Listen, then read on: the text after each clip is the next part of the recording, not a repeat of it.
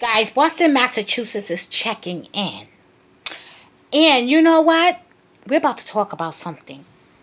DeAndre Cortez Way, aka Soulja Boy. I don't think he's in jail. I don't think he is incarcerated, guys. And the reason that I say that is because every time you put in, I want to write Soulja Boy, I want to, you know, what jail is Soulja Boy in? It just talks about him being sentenced. But it doesn't actually say what jail he is sentenced to. It just says Los Angeles County. The judge has um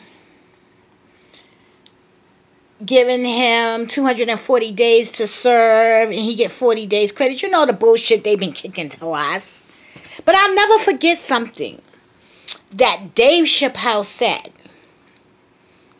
during an interview. I believe either on the late night show with Dave Letterman or Jimmy Kim Kimmel. One of those shows.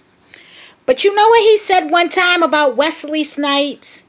He said it was reported that Wesley Snipes was in jail, but he seen him at a party. And this is the whole thing with Hollywood. They don't tell their secrets, really. Now,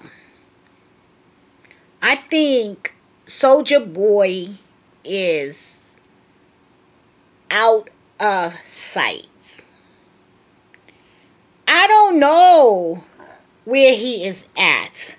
I wanted to send him a card personally. You know. But how can I do that if his information is not out there? So now I'm like, is Soulja Boy locked up? Hmm. If you know where Soulja Boy is locked up at, please, somebody, leave it in a comment for me. I want to send my brother a card to let him know. We still love you, Soulja Boy. We love you, man.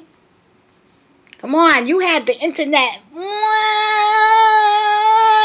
on fire. Then it was like he's locked up. This whole Hollywood lifestyle.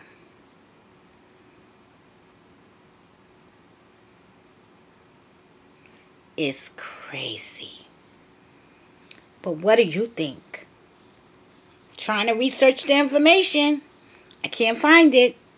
I think I'm onto something, guys. So he must have made an agreement to stay out of the spotlight for 240 days.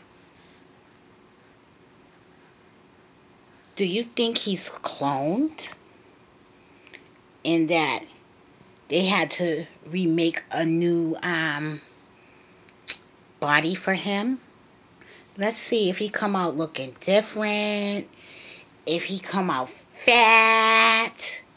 Let's see if this is going to be the same Soulja Boy. Okay? All right. Bye.